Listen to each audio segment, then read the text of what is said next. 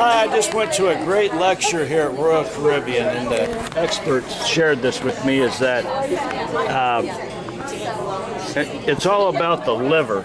Taking care of the liver is the key to your healthy diet and getting rid of fat.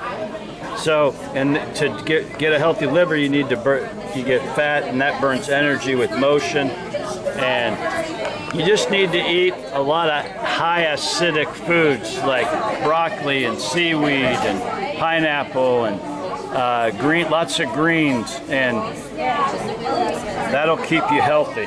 So I just wanted to share that with you, and uh, it takes six months to transform your liver.